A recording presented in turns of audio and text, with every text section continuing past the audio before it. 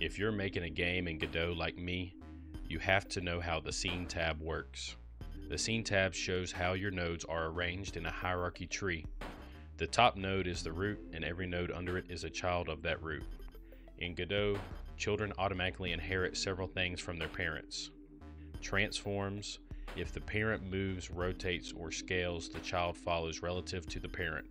Visibility, hiding a parent hides all its children.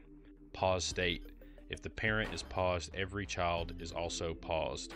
Life cycle, if the parent is freed or removed from the tree, all children are freed and removed.